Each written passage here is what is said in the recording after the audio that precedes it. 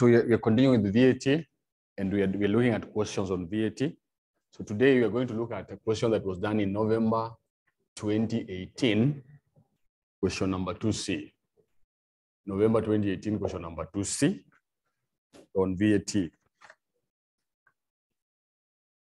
November 2018, question number 2, 2C. So the question reads, Bandika Limited, a company dealing in a variety of value-added tax VAT designated goods was registered for VAT purposes on 1st March 2018.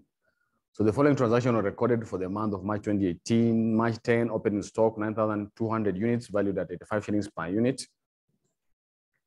March 5th, imported 10,000 units of 80 shillings per unit, being cost insurance and freight CFI.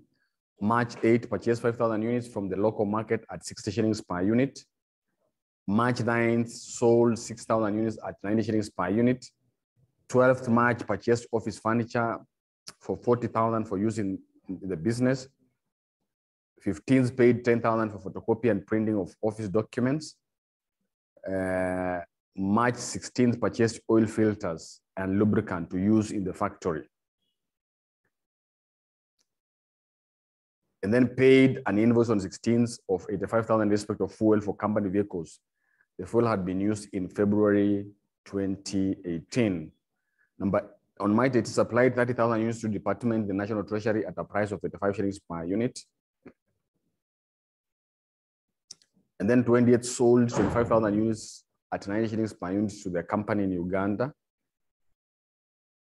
And then on 23rd, purchased on credit 25,000 units locally at 80 shillings per unit before deducting a discount of 85%. On 27th, the directors appropriated goods valued at 320, which were not paid for. And then paid electricity expense of 50,000, telephone expense 6,000. All transactions were inclusive of VAT at the rate of 16% where applicable unless otherwise specified. Assume the rate of import duty is 20% required. So here we said you check the nature of transactions, whether the trader is dealing with both taxable goods and exempt.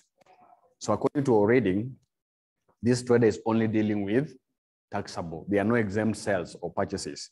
So now when you don't have, we said you come up with the VAT account. So you come up with VAT account neatly. So you come up with VAT account. So Bandika is a company, so for the month of April. So you Bandika Limited. So you write there Bandika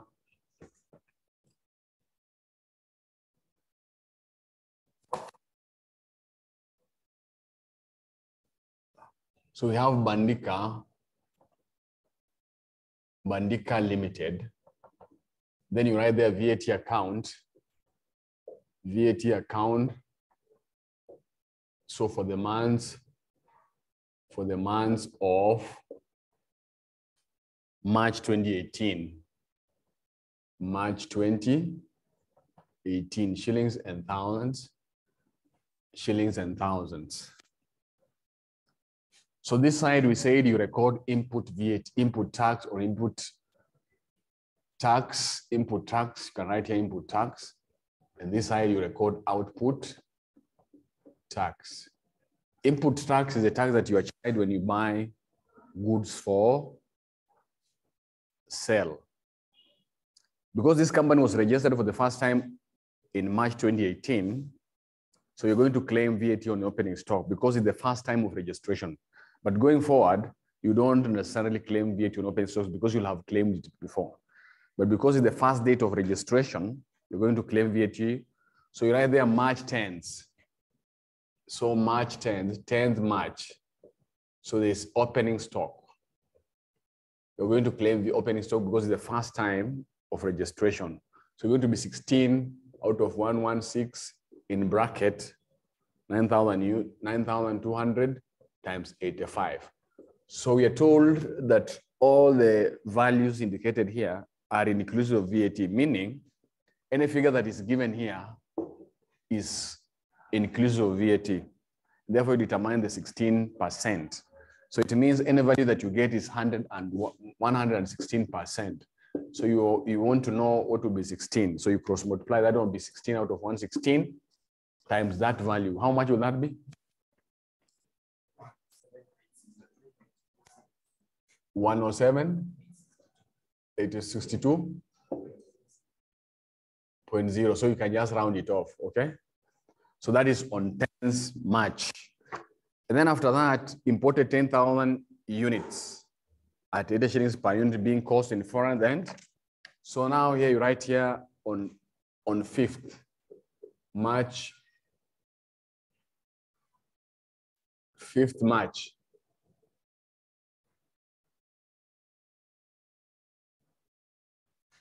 So imports here. Imports. So we said mostly, or most at the time when we are told that the transactions are inclusive of VAT, where we have imports, those imports are exclusive. They don't have VAT.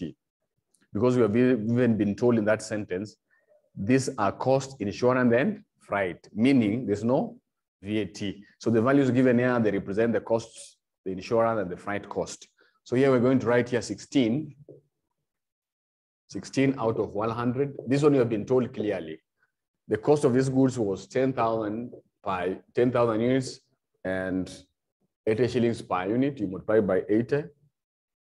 Uh, cost insurance and freight.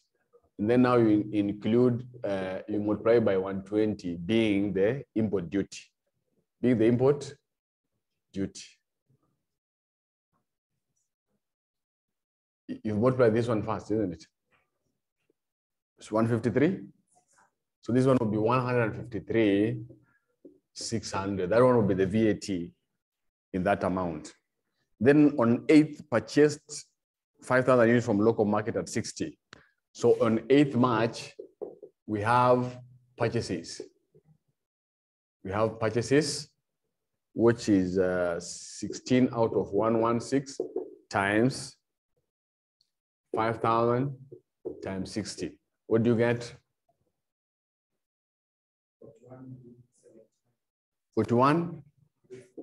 41, 379. 41, 379. And then on nine, sold 6,000 units at 90 shillings per, per unit. So here, 9th of March, sells He sold how many units?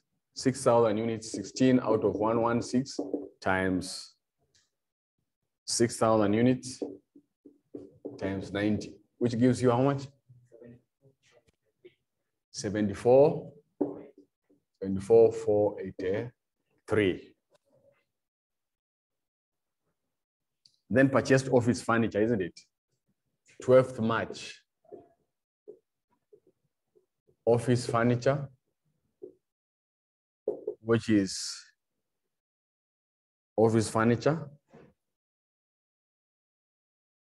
16 out of 116 times 40,000. How much is that?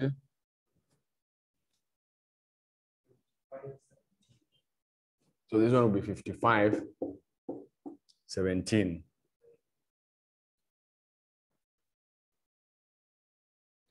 And then on March 15th, paid 10,000 shillings for photocopy.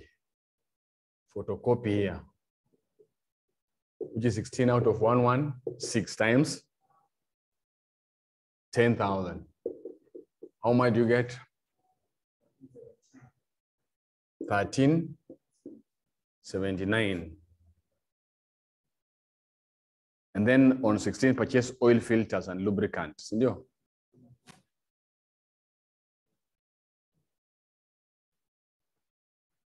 That is 16th of. So that one will be how much? Oil, filters, and oil filter 16 out of 116 times 75,000. How much would that be? Uh, oil itself. Filters and lubricants are two different things, isn't it?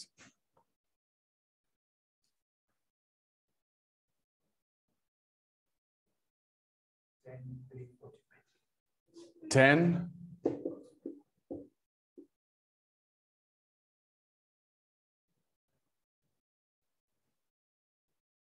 And then on 16th, paid an invoice of 85,000 in respect for fuel for company vehicles. The fuel had been used in February 2018. Remember we said what we call tax point. There's a delivery date, there's a delivery date, there's a payment date, and there's the invoice date, whichever happened earlier. So this one that was delivered in February. So it was accounted for in, Fe in February, although the payment is being done in, in March. So that one is a very key thing to remember, what you call the tax point. It is the point where you account for VAT. And we said it's the earlier either of delivery of goods, payment. So the delivery of the oil was done in February and we're in the month of March. Therefore, it was claimed, it, it was accounted for then. So that one we're going to omit it. Then March supply 30,000 to Department of on 8th, 13th March. So here, Treasury. Treasury is going to be 16 out of 116 times.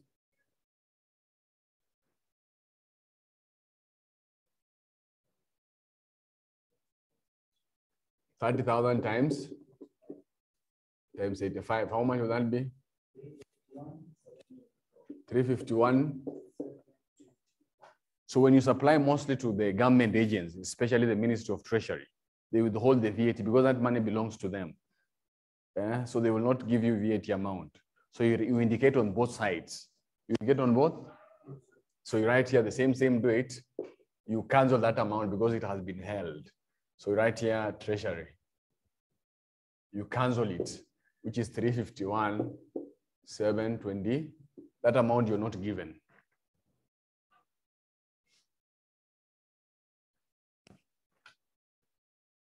On the Ministry of Treasury.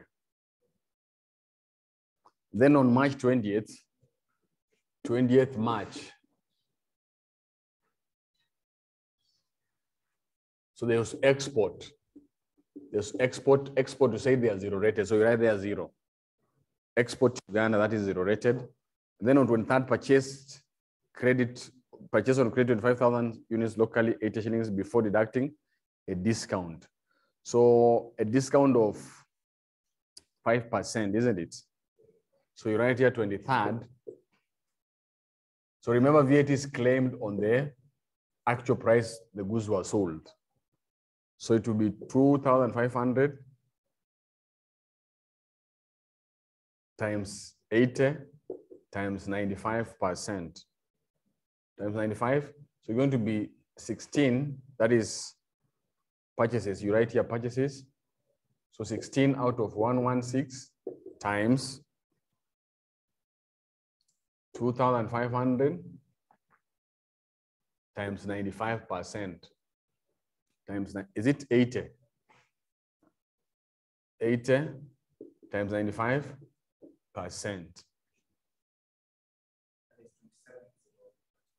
27? 27034. And then we have the director's appropriated goods.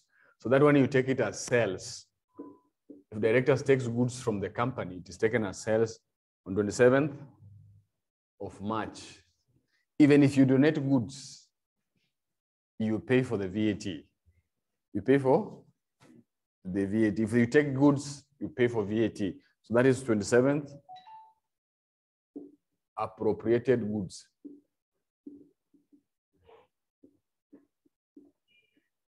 Which is 16 out of 116 times 320,000.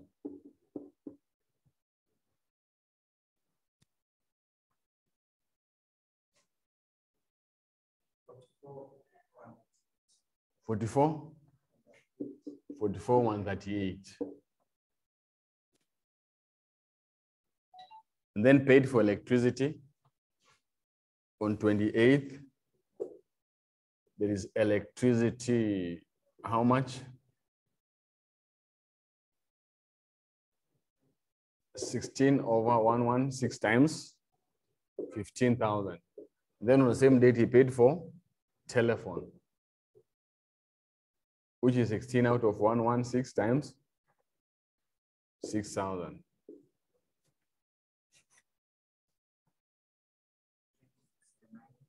Twenty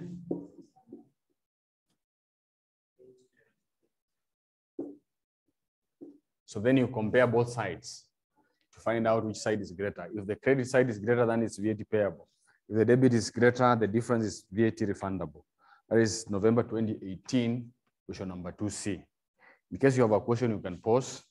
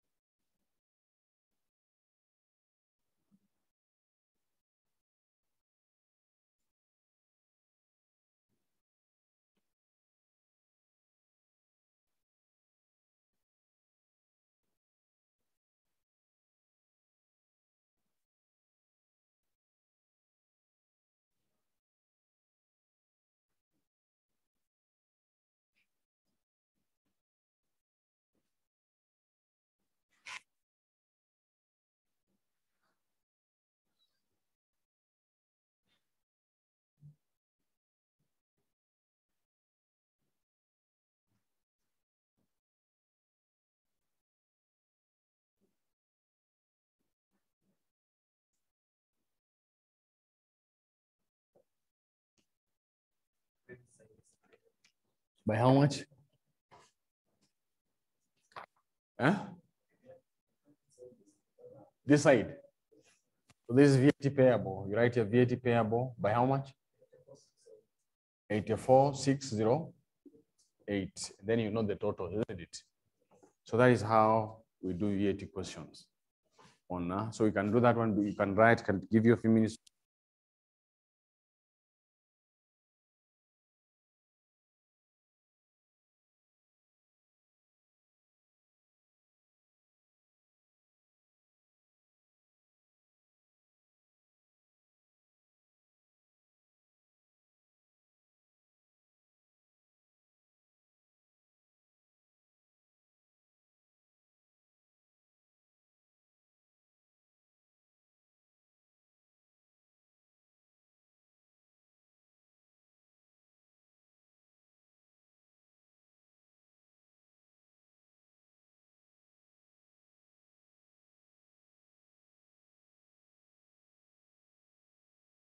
Also do another question on uh, the same on VAT, May 2017 question number 2C.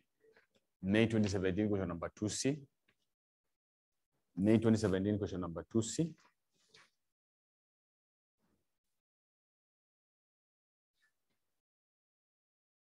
May 2017 question number 2C.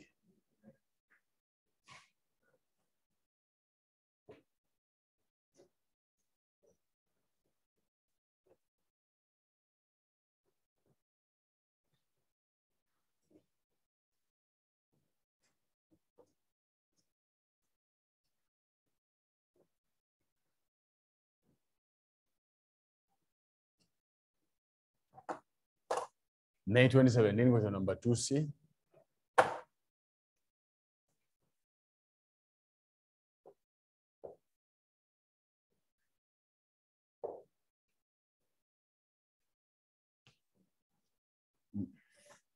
So the question reads, John Mpalanga. John Mpalanga is a trader registered for value-added tax VAT. He also offers consultant services for clients at a fee. He has provided you with the following information relating to his business for the month of March 2017.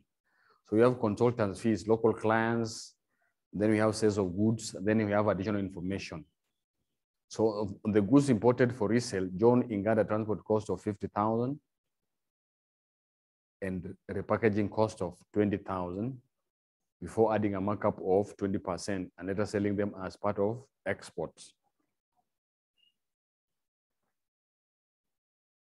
Then the exempt sales had been purchased at standard rate and constituted 25% of the, of the batch.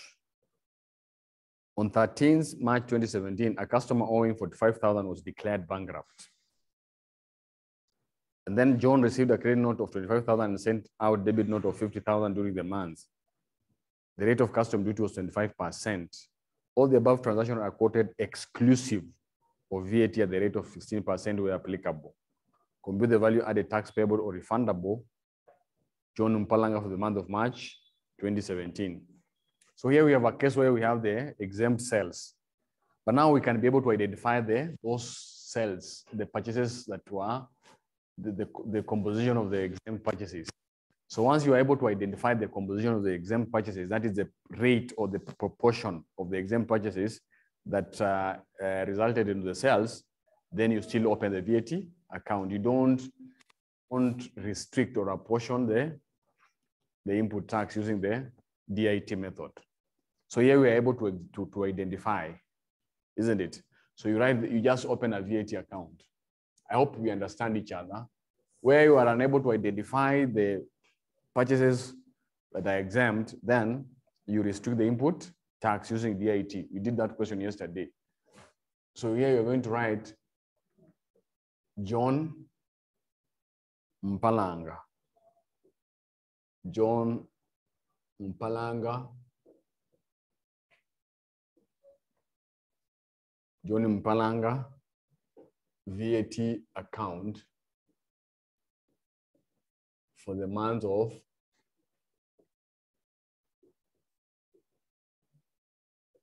for the month of March 2017,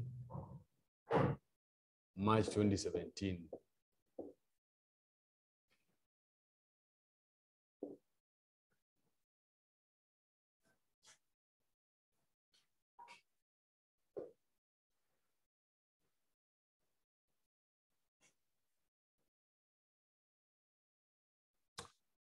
So we go one by one. So we had consultants fees, local client.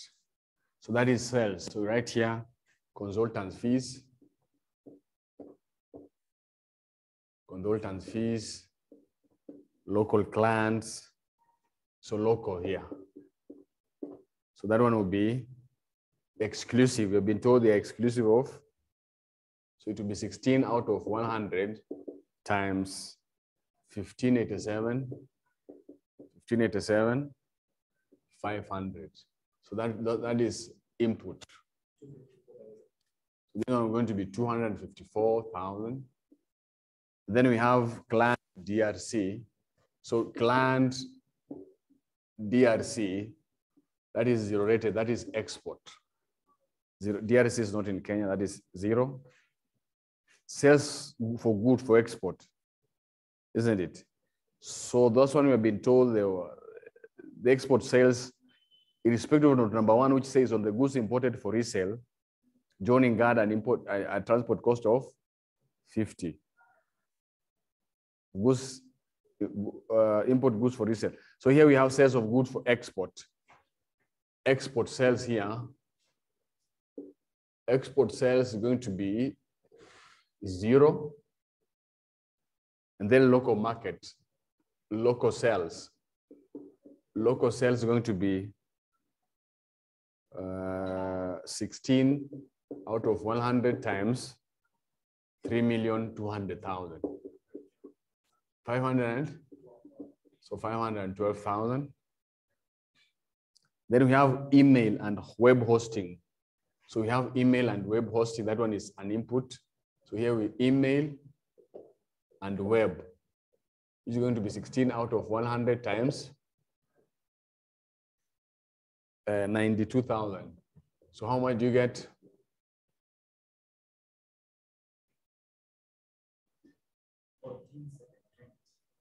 So this one is 14.7. So that is an input item. Sorry, this one is supposed to be input, input tax.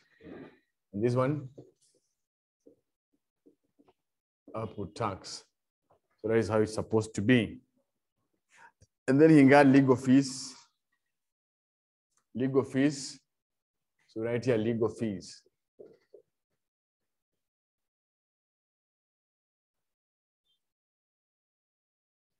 Legal fees how much?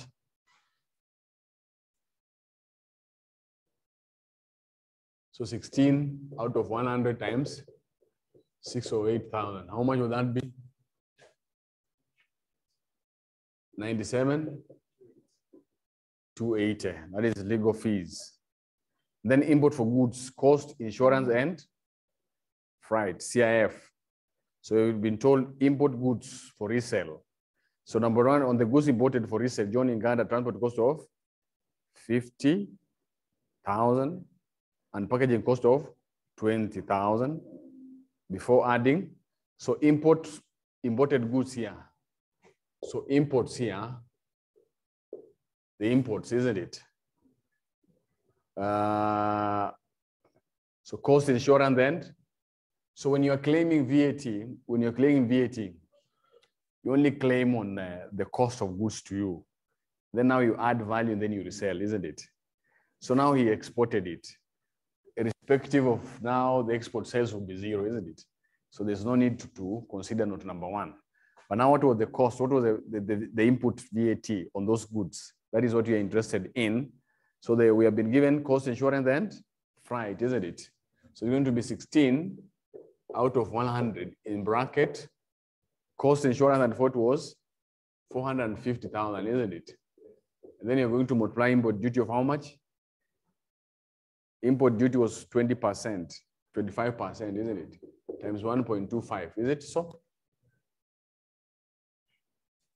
So this figure 450,000 represents CIF, which means cost insurance and freight. Then we said you add import duty before you claim VAT. How much will that be? So this one will be 90,000 here. That is a VAT. Although these goods, there was some value addition before they were exported. So bottom line is the VAT will be zero. And then consultants fees, clients with goods on transit. Goods in, so those ones good in transit. So the goods were not yet. So you're consulting people. Uh, I, don't think that one you that one will be you not claim VAT on that one. Goods were on transit, isn't it? So you don't claim VAT on goods in transit. Then we have photo, photocopying cost. Photo, photocopy. Photocopying, which is going to be 16 out of 100 times 90,000. You know who you're happy? 14. And then audit fees. Audit fees is going to be 16 over 100 times 260,000. How much would that be? 41, 600. Then we have purchases, standard rated purchases. Purchases, the standard rate. So you're going to be 16 out of 100 times in bracket, uh, 620,000. Out of this, you only multiply 75%. You multiply by 0.75, isn't it? Out of this value, we've been told 25% were exempt, isn't it? So we only we know the proportion that is supposed to be claimed, which is 25, which is 75%, isn't it? 25. So, that, oh, sorry, standard rated in happy? Uh, 1 million 900,000. So this 1 million 900,000. Out of this 1 million 900,000, 25% is exempt. So those standard rated will be 75%. Where am I getting this information in additional information number two? The exempt sales had been purchased at a standard rate 25? Huh? Two?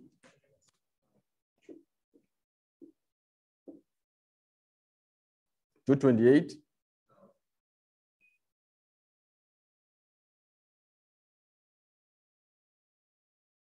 So we had uh, zero rated, you don't, then exempt cells, exempt cells, isn't it?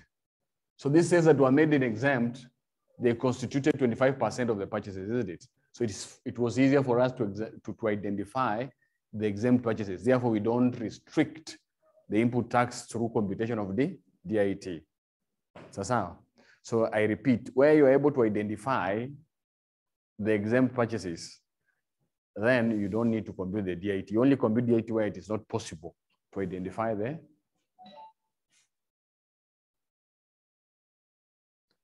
Uh, we have additional information number number three. On 13 March 2017, a customer owing 45,000 was declared bankrupt. So we said if a customer is declared bankrupt, you come and so when it comes to bankruptcy, we have two things that you need to understand when it comes to issues of bankruptcy. So there's what we call bankruptcy. Bankruptcy is where somebody has been declared the bankrupt and he has been issued with a certificate of bankruptcy. Therefore, there you claim, you claim the VAT in that amount that is still owing directly. But we also have some scenarios where you sold to a customer, that customer is still in business, but he's not paying the debt. So he's not paying the debt, but he's still in B. So for the ordinary bad debts, where the customer is not paying the debt, but is in business, you must wait for more than three years for you to claim bad debt relief. More than three years must lapse for you to claim the bad debt for a customer who's still in business but is not paying. And then now when you're going, going to claim for the relief, you must prove that you've attempted to recover the amount from the customer and then you are unsuccessful. Two, you must also show the documentation that relates to that particular transaction. So you must prove that there was a transaction between you and that particular customer. And then number three, you must also be up to date in terms of filing VAT returns. So your VAT returns in filing must be up to date. And then that is the procedure for you to be able to be to claim bad debt relief. Bad debt relief occurs where you've sold to a customer who is in business but is not paying his debt to you. But bankruptcy, you claim it immediately so long as there is bankruptcy certificate. So once the question tell you that the customer was declared bankrupt, it means he was issued with a bankruptcy. So you claim it immediately. So this one will be 16. Uh, 16 out of 100 times 40. So in other words, you reduce that, um, that bankruptcy from the output tax or you record the amount on the, the input side. So this one will be 7,200. You record it on this side. And then another thing that is, uh, John received a credit note of 25,000 and sent a debit note. So when you receive a credit note, it means there are some goods you had returned. When you receive a credit note, it means it is a reduction of suppliers invoice. So the suppliers are reducing the, the invoices they send to you. So that is mostly, it is a return, it's an indication of return outwards. Return outwards is when you return some of the goods to the customers. So you're going to write here credit note or return outwards here. Return outwards. How much is it? 16 out of 100 times 25,000. So that is how much? 4,000. And then when you send debit note, debit notes are additional invoices sent. If you're the one issuing them, then it means you are giving more, you're issuing more credit notes to more, more, more invoices. A debit note is an additional invoice to a customer. When you receive, it's an additional invoice from the supplier or creditor. So here, debit note issued. When you issue, it's an additional sales invoice. Debit notes issued, which is going to be 16 out of 100 times the amount of debit note issued is how much? 50,000. So you determine the VAT amount in the 50,000, which is how much? Eh? 80. 8,000. So that is the VAT. At that point, I think we have exhausted everything. Eh? So now you come here and compare the two sides. If the credit side is greater than the debit, the difference is called the VAT payable. If the debit side is greater than the credit, the difference is VAT refundable. So can we compare?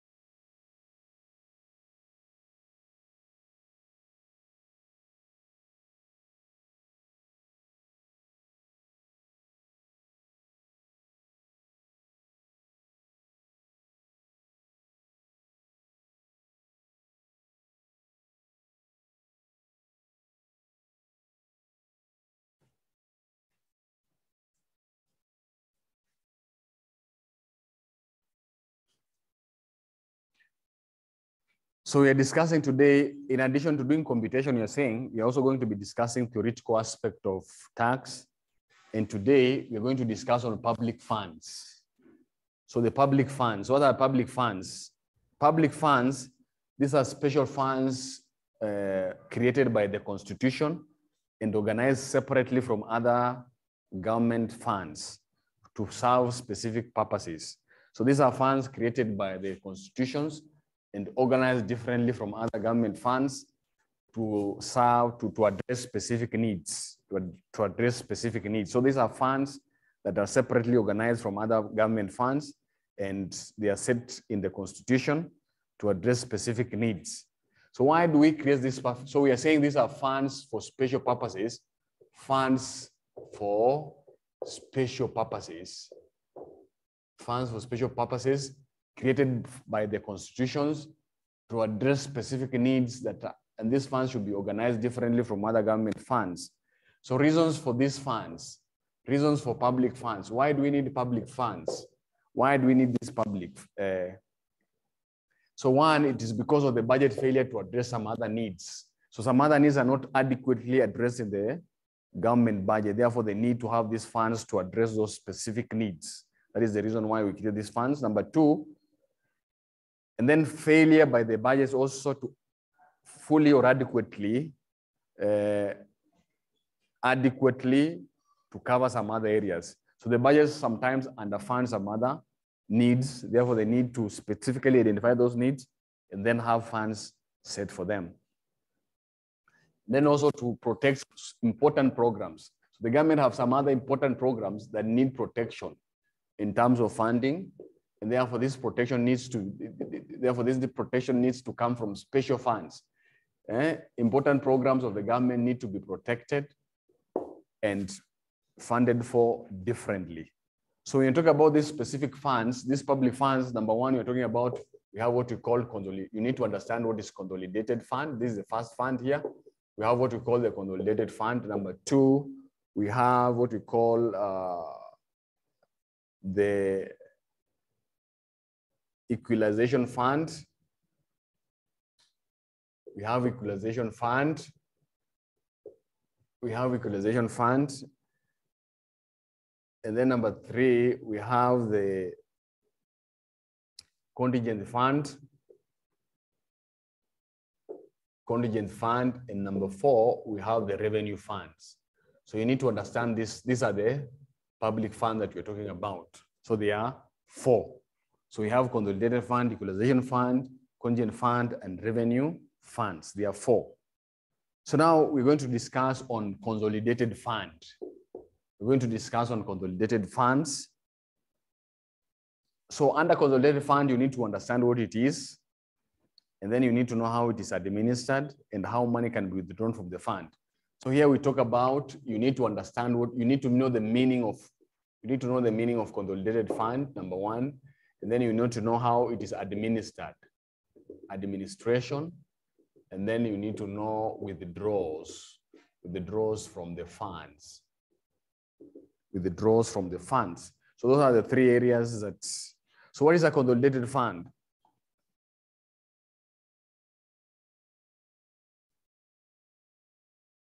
So this is a fund that is created to receive all the monies that are received by the government. So it's a funds account that is created to receive all the money that the government receives.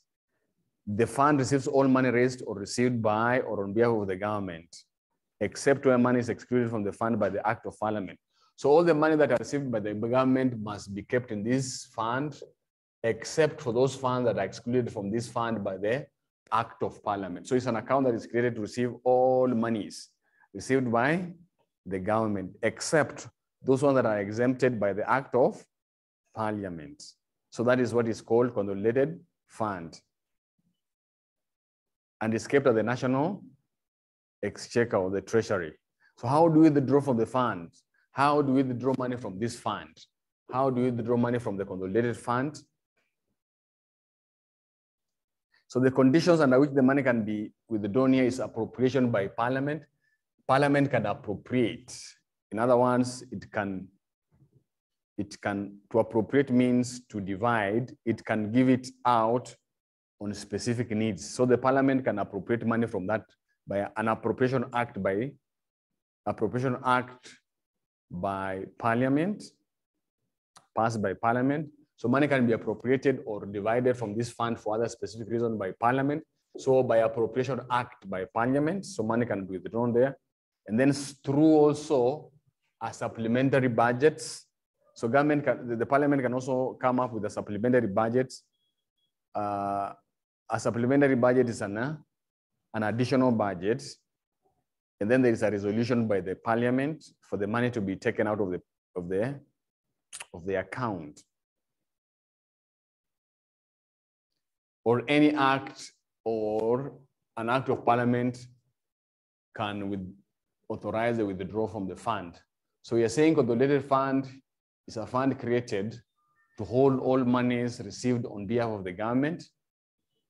And uh, although except for those that are exempted from the fund by act of parliament and the withdrawal from the fund can only be done through an act of parliament appropriation by an act of parliament or supplementary budget by parliament. How is the fund administered? How does the fund administers so the national treasury is mandated to administer the consolidated fund and to maintain the consolidated fund, the national exchequer account kept at the central bank. So the fund is kept by the national treasury and then uh, at the CBK. I hope you've understood there, isn't it? That is, then what are the responsibility of the national treasury in administration of consolidated fund? What are the, what are the responsibility of the national treasury in regard to administering the national fund? Number one, is to ensure that all the national exchequer account is not over withdrawn at any time. To ensure that the amount is not over withdrawn in any given time. To ensure that the account is not over withdrawn that is number one. And then number two to maintain the consolidated fund in account to be known as national exchequer account at the cbk so to maintain this account in an account called national exchequer the cbk that is number two and then to administer the account in, a, in regard to the constitution, to follow the constitutional principles and guidelines in administration of the fund. And then number two, to make disbursement or to distribute money in accordance to the prepared schedules by the National Treasury and in consultation with the Intergovernmental Budgets and Economic Council. So to make distribution from the fund in accordance with the schedule by the National Treasury and with consultation with the Intergovernmental Budgets and Economic Council,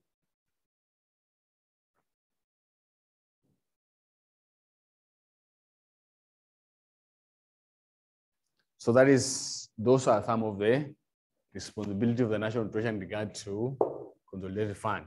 Then we have what we call equalization fund. Equalization fund. So equalization fund so what is equalization fund?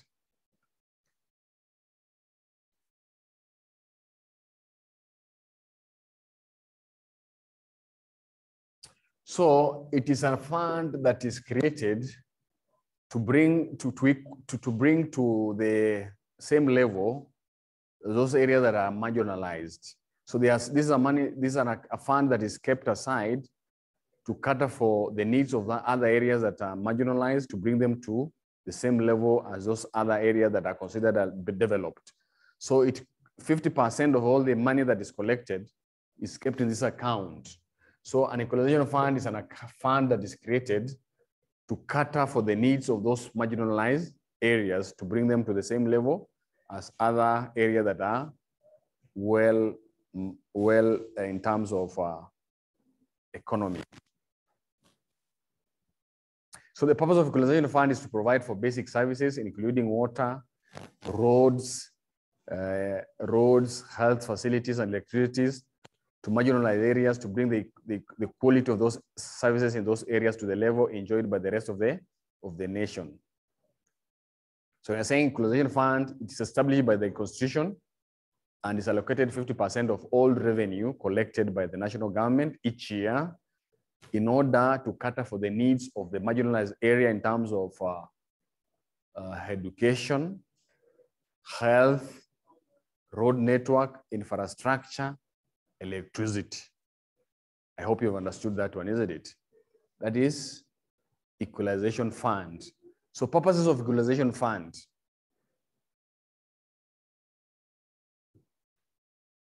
Purpose of equalization fund, we said, is to bring marginalized areas to the same level as those other areas that are better off in the nation. So how is the fund administered? How is the fund administered? Administration of the national, administration of the equalization fund. How is it administered or managed? Administration so administration. So national treasury is to administer the funds and keep the funds in a separate account managed at the C. So it is administered by the national treasury and the fund is kept at the CBK. So it is managed by the National Treasury, managed by the National Treasury, managed by the National, managed by the National Treasury in an account kept at the Central Bank of Kenya. So withdraw from the fund. How is it that, how can you withdraw from the fund? How can you withdraw from the fund?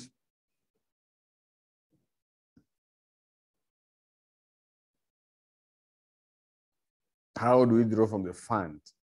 Withdraw from the fund, money can be withdrawn from the fund in accordance with an appropriate act by parliament. So in other words, parliament must give, my must issue an appropriation act. So parliament must prepare an appropriation act so that this money can be appropriated or disbursed from the account in accordance to the act of parliament, in accordance to the act of parliament. So that is all you need to know on uh, equalization fund. Then we also have what we call the contingent funds, the contingent funds. We also have another fund called here the contingent funds. The contingent funds.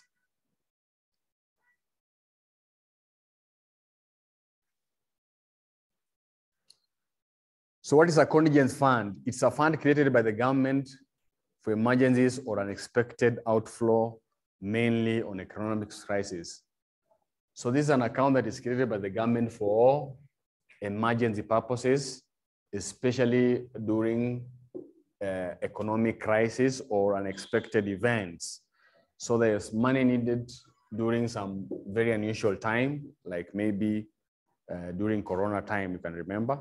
So the government need a lot of money. So they, it, we need to have an account specifically to address those issues, emergencies and unexpected events, unexpected outflow of, of cash. So it's an account that is created to hold emergencies, to hold funds to cater for emergencies. So it's an account that is created to hold funds for emergencies or unexpected events that requires outflow cash. So how is a, how is a, the account, the fund administered? The cabinet secretary is the administrator of the funds. The CS for treasury is the administrator of the funds and should ensure the permanent capital of the funds doesn't exceed 10 billion shillings or may be presided by the cabinet secretary with the approval of parliament. So in other words, this fund is maintained by the CS for national treasury and the amount of the fund should not exceed 10 billion unless, unless there's an act of parliament that permits the excess of 10 billion. So that is how. How can the money be withdrawn from the fund? How can the money be withdrawn from the fund? Through an appropriation act by parliament. And CBK can only pay into the account monies appropriated to the contingent fund by an appropriation act Advances from the fund can only be done in case of urgent and unforeseen need. Unforeseen event is one which threatens serious damage of human life or welfare, threaten serious damage to the environment. It means it meant to alleviate damage, loss, hardship, or suffering. So the money can only be withdrawn in this account when there's an uh, unforeseen, unforeseen event unforeseen So you're saying unforeseen event is an event that can damage the life of humans and then can cause damage to the environment or can cause suffering. So this fund is meant to alleviate the suffering or stop the damage, to stop the damage. So that is the purpose of that fund. That is called contingent funds. And lastly, we have what we call the revenue funds. The revenue fund. So this is a fund for each county government uh, into which all the county revenues are paid. So the revenue fund is a, is a fund for county governments. So all the monies of the county governments are deposited in that fund. Money cannot be withdrawn unless the control of budget has approved the withdrawals. So sawa. Unless the control of budget can approve the withdrawals. So where does the county government get their money, their funds? How do they generate their funds, the county government? Where are their sources of funds to be disposed in this account? Number one, there's uh, equitable share portion of revenue from the national government. So each and every county has a portion of their share from the national government. That is their first source of money. But their share from the national government, there's a portion of each and every county. Number two, there's local, local revenue generated by the county government. So the county governments have their own ways. They have fees and they have licenses. So they generate revenues through their own counties. And then they also do investment. They can also get funding, donations, and the grants. Okay, so those are the. And then why do county government underperform in collection of their revenues? Why do county governments underperform in their revenue in their revenue collection? This question was asked in November 2018, question number 2B. Why do you think that this failure of county government to attain their revenue targets? Hmm? Sorry? So there's corruption, inefficiencies, and other malpractices where funds are channeled to private pockets. That is true. Number two, lack of capacity. So they don't have the capacity to, to ensure that they collect sufficient revenues. In capacity, we mean there's a limitation of human resources uh, to make sure that whoever needs to pay funds, fees for services offered by the county governments are paying and maybe the lack of systems that can be able to enhance revenue collection. So they lack capacity in terms of human resources, machines and other equipments, and then also the systems that are able to ensure that they collect enough revenue. And then some others over-rely on the national government portion. So they over-rely on the national. When you over-rely on national government, then you don't make efforts to collect your own revenue. So there's over reliance on the national government. That one was fear with their revenue targets. And then there's also lack of political will to ensure that revenue enhancement efforts are started. So lack of political will to initiate uh, revenue generating activities. Uh, and then we have also lack of comprehensive and well set out policies. So lack of policies that can be able to, to ensure that enough revenues are collected. So that is what we call public funds. So you can read this one. This is a very nice topic, public funds. Then we have topic number two, which you're going to discuss in the next class. We call it oversight functions in public and finance management. So if you don't have those notes, I can provide it. So read those ones, and then you also read supply chain management in public entities. Tumelewana. So you read those notes. In case you don't have these notes, please ask for them. So I've given you sufficient work to do. Uh, you can start doing that work right now. Melawana? Yes. So in case you don't have notes, any note that you don't have, make sure you alert me so that I can pass them to you. So we've come to an end of our class today. Until next time.